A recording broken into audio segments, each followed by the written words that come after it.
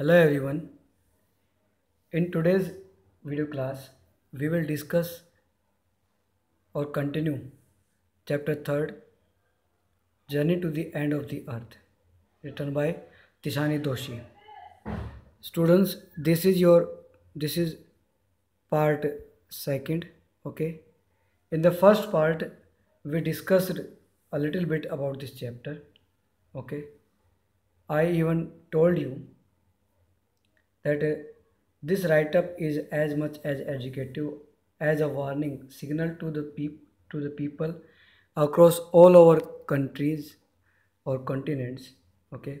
Uh, the threat to existence of survival of human race is real okay? It demands urgent action on war footing level okay? Uh, the danger of another way is not causing so much concern as the issue of global warming okay pollution of environment okay enormous use of uh, uh, of limited resources and and um, uh, overpopulation okay students. All these things create creates uh, lots of hurdle in the way of development and all thing okay clear? So let's have some points of recap okay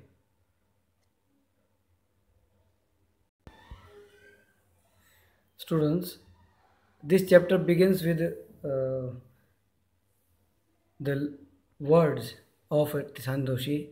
If you want to know more about the planets, past, present, and future, the Antarctica is the place to go go to. Okay, clear. The author Tishani Doshi got an opportunity to go there abroad by a Russian ship uh, called Akademik Shokalskiy. Okay, clear. Uh, it was going towards the coldest, driest, and windiest continent in the world. The journey involved crossing nine time zones and three oceans. Okay, uh, he took over 100 hours to reach Antarctica. He traveled by car. Okay, means the the, the writer traveled by by car, aeroplane, and ship. Okay, clear. Even the poet uh, felt great relief after such a tedious journey. Okay, clear? Clear?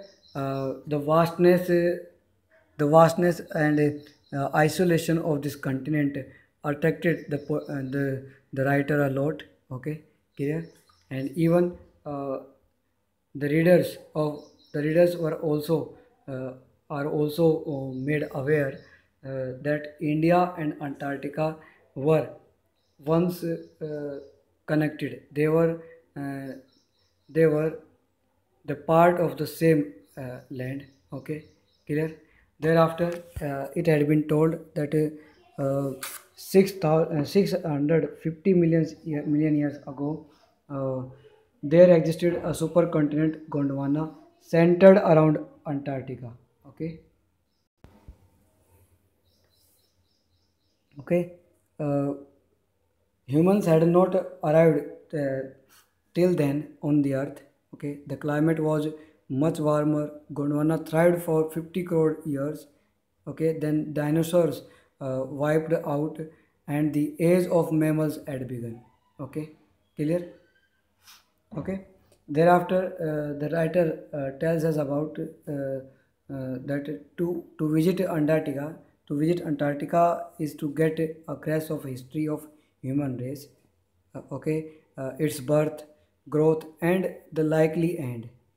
Imagine india pushed northward uh, hit asia against formed the himalayas okay clear? South america uh, was also uh, south america also moved off uh, to join north america and created a coldest uh, current that kept antarctica very very uh, cold uninhabited and at the bottom of the world. Okay students? So these are the things that we have gone through earlier. Okay now we shall start uh, this chapter from this para. Okay for a sun worshipping south indian like myself uh, two weeks in a place where where 90% of the earth's total ice volume volumes are stored. Is a chilling prospect not just for uh, circulatory or metabolic function but also for the imagination. Okay clear? Okay students? Students if we talk about uh, uh, the writer's experience on this continent okay on this part of earth. So the writer said ki, uh, said that it was quite a wonderful experience for uh, her that uh, for a south indian uh, indian like uh, like the author okay uh, to spend two weeks in a place where 90% of earth's total volume is is stored okay volume 90% of volumes are stored in a chilling prospect. Okay clear? Or uh, this this is the place where you can see the physical uh, uh, or physical functions and circulatory uh, things even of uh, things that are related to our imagination that the entire part of that land of that part of land is covered with a with snow with the ice okay? With ice like it's it is like uh, uh, uh, walking into a giant ping pong ball okay devoid of any human markers no trees billboards buildings okay and it was uh, something like a great ping, uh, it was something uh, for the writer to walk that he, as if he, the writer was walking walking on a big ping pong ball okay एक बड़ी सी ping pong ball में चल रहा हो जैसे कि okay? Where he he could not even uh, the writer could not even uh, find no markers means no trace of human uh, civilization. Okay? There is no tree there is no trees. Okay? There are no trees billboards and buildings. Okay? Clear? You lose all earthly sense of perspective uh, and time here. Okay? The visual scale ranges from the microscopic to the mighty mids to the mids and mites to blue uh, whales and iceberg as big as countries. The largest recorded was the size of belgium. Okay. Here the writer uh, here uh, describes that uh, one can easily feel uh, one can easily uh, feel the devoid of earthly sense. There at in Antarctica. Okay, clear? means no earthly feeling uh, could come in your mind when you are in at uh, are in Antarctica. Okay, clear? Even uh, visually, you can uh, scale the ranges from microscopic to the mighty. Means uh, from the microscopic creatures to the mighty creatures can be seen here. Okay, there there are no trees, but you can see uh, things microscopic things like mites dima होती na uh, mites okay to blue whale that is the uh, okay blue whale या आप मतलब दीमक से लेकर blue whales तक उस चीज़ वहाँ से दिखाई देती हैं।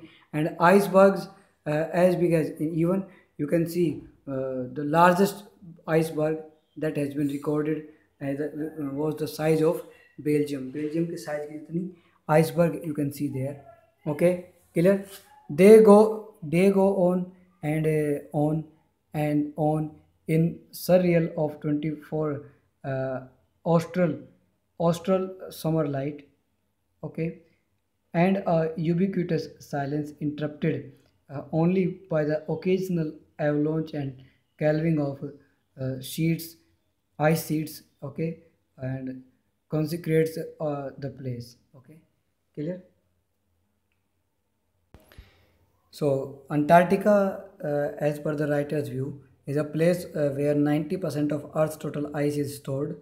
Okay, uh, it has no tree, no buildings. Okay, and you lose all the sense of time there. Okay, even uh, it is the land of uh, giant blue whales and iceberg as as big as size of Belgium, as I told you earlier. Okay, and uh, it has 24 hours light in summer.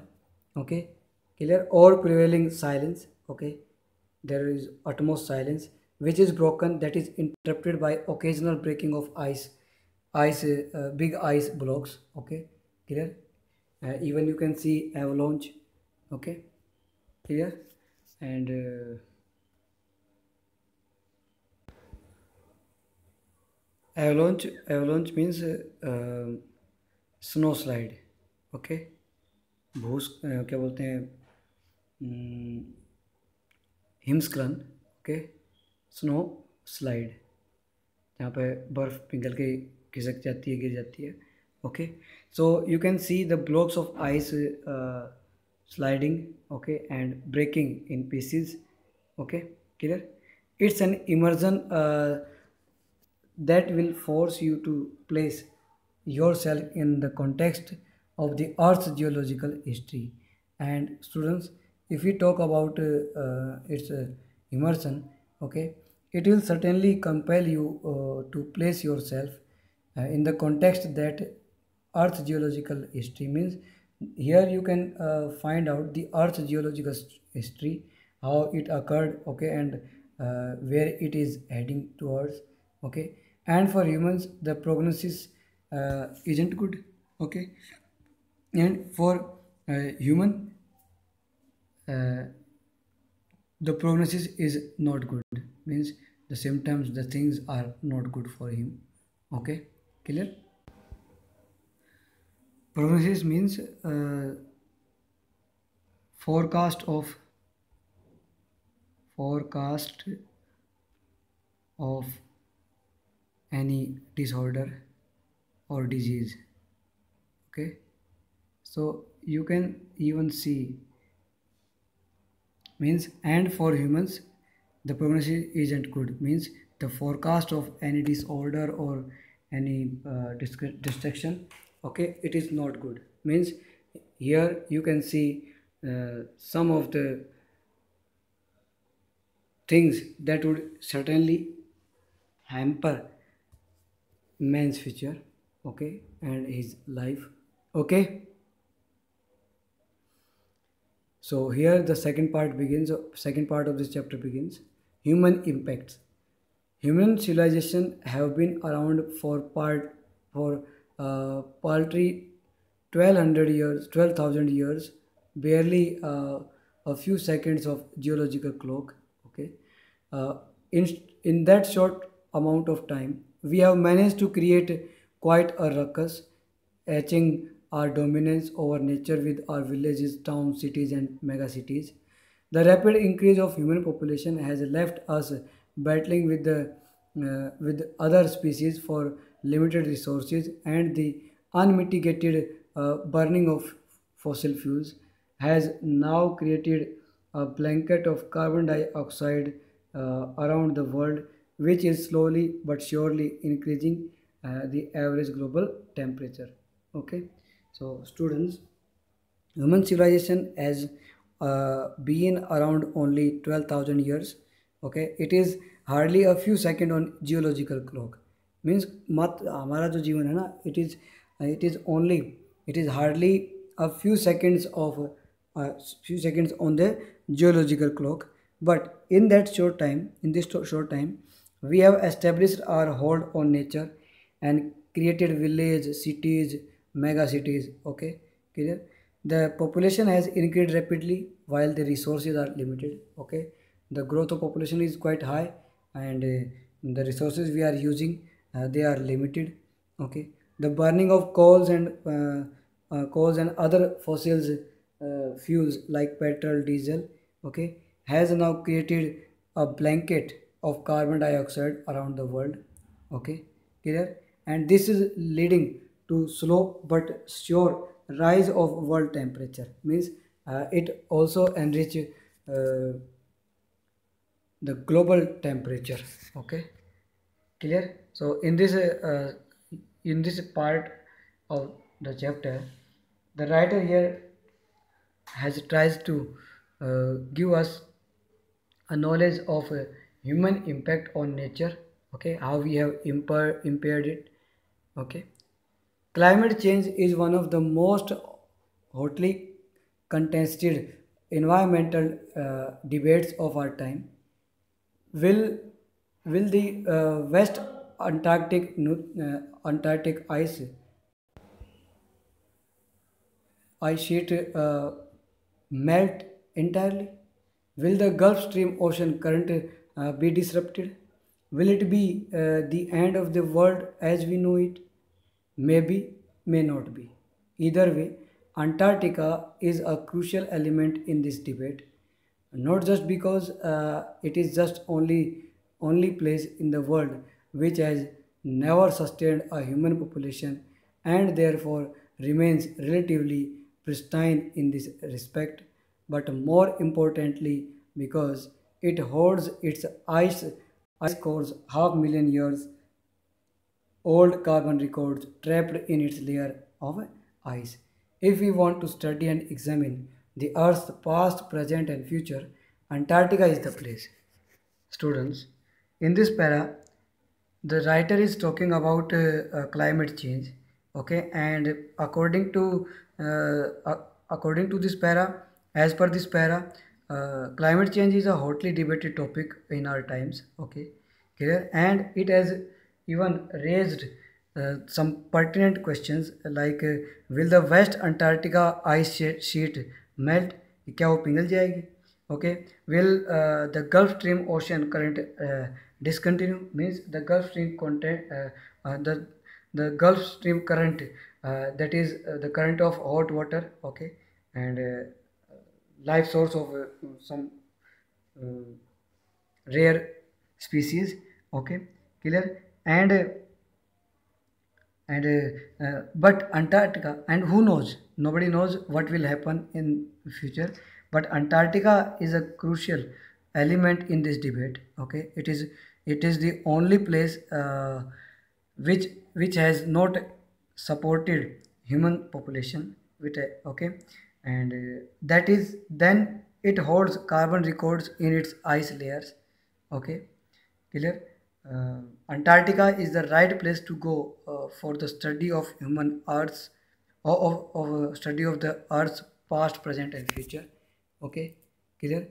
Even uh, if we want to uh, get to know something more about this uh, of, of, of our Earth's future and past, okay, we have to go to Antarctica because it is the only place where we can get uh, the carbon data you know uh, to guess the age of uh, an object uh, we use carbon dating okay? And the carbon data here have been stored in ice sheets okay? So there we can get uh, accurate data for the reconstruction so that we can uh, we can even easily get more reliable uh, information regarding Earth's past, present, and future. Okay, clear? Students on ICE, the program I was working with on the Shokalskiy, aims to do exactly this by taking high school students to the ends of uh, the world and providing them with inspiring educational opportunities which will help them foster a new understanding and uh, and the respect for our planet. It's been it has been uh, in operation for 6 years now headed by the canadian geoff green okay uh, who got tired of caring uh, of of carting celebrities and retired retired rich curiosity seekers uh, who could only give back in a limited way with students on ICE, uh, he offers the future generation of policymakers uh, a life-exchanging experience uh, at an age uh, when they are ready to absorb, learn, and most importantly, act. Okay, clear? Students, the program students on ICE uh, aim to exactly this by taking high school students uh, to the end of the earth okay? It has been in the operation of for six years now okay? And uh, it is headed by headed by uh, canadian geoff green okay? Student on ice uh, is a life-changing experience for all the participants uh, who got a chance who got opportunity okay? And even it is providing them inspiring in education opportunity which will help them to foster to inculcate to uh, get a new understanding uh, and respect for our planet okay? Students uh, with this program uh, these students will get an opportunity uh, to know to know uh, the facts related to our life okay and our existence on this earth okay? And it will certainly help the policymakers okay clear? Uh, at an age uh, at an at a ten, tender age uh, when they are ready to absorb okay these high school students are ready to learn okay and most importantly they are ready to act okay okay students?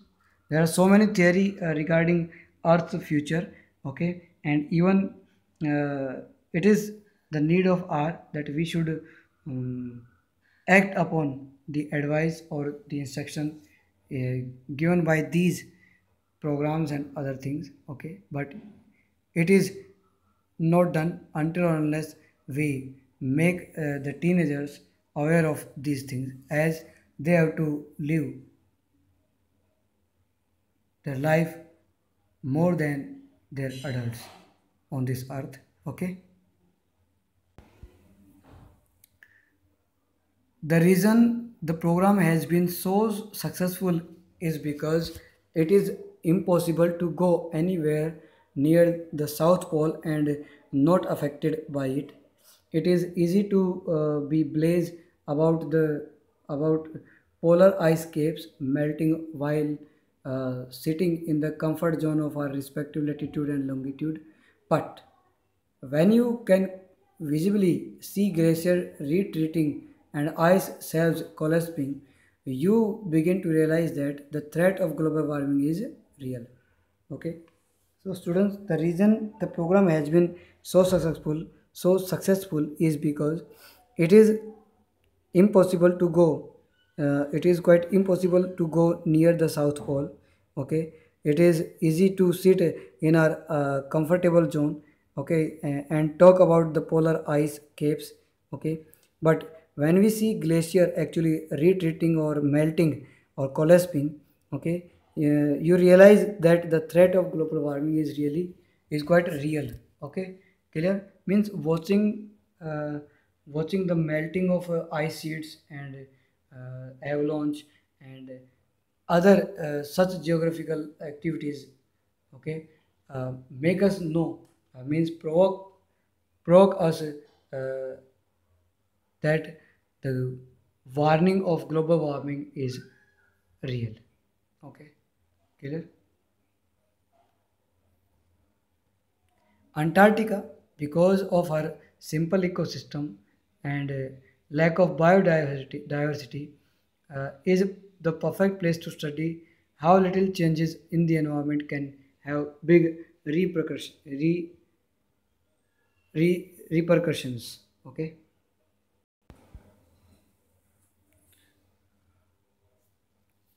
Re, repercussion. Uh, this word means result. Okay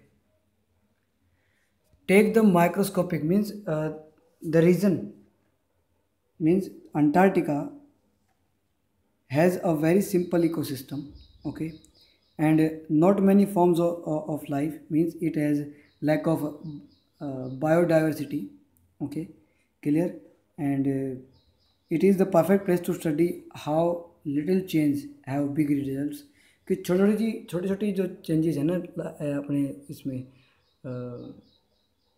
environment में how they can have big results okay take the microscopic phytoplankton those grasses of the sea uh, that nourish and sustain the entire southern oceans of food chain okay uh, oceans food chain uh, these single celled uh, plants use the sun's energy to assimilate carbon and synthesize organic compounds in that wondrous and most important of process called photosynthesis. Students, uh, being a science student or geography students, you might you you may know uh, what uh, what photosynthesis okay clear photosynthesis is a, a process in which leaves the green leaves uh, absorb carbon dioxide okay and they mm, uh, they even give energy or new life to uh, the tree and other things. Here the writer is giving us an example. Take the case of uh, grasses uh, in in the sea that sustain the southern ocean food chain okay कि food chain का एक ही basis है। What phytoplankton the one cell grass that microscopic grass that grows in in the ocean okay and it is the main main basis of the food chain okay and clear food chain का ये एक main process है। And even these microscopic grass they absorb carbon dioxide okay okay around them absorb करते हैं and then they then they wondrously use uh, or run the process of photosynthesis okay scientists warn that a further depletion in ozone layer will affect the activities of phytoplankton which in turn uh, will affect the lives of all the marine animals and birds uh, of the region okay the global carbon uh, cycle okay clear? So students here here uh, you know uh, phytoplankton means the microscopic plants. These plants use the sun's energy for their uh, growth okay?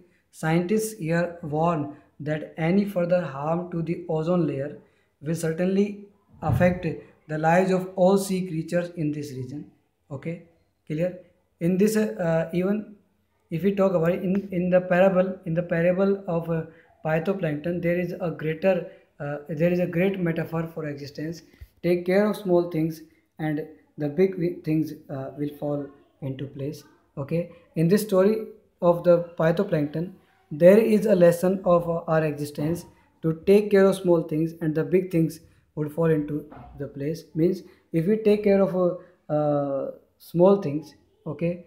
Clear the big things or big issues will be sorted out okay by their own okay छोटी छोटी बातों में ध्यान रखें तो बड़ी चीज़ें अपने आप ठीक हो सकती हैं okay so students the last part of this chapter will be done in the next video lecture okay till then till then uh, be happy okay stay home and uh, keep learning better thanks for watching this video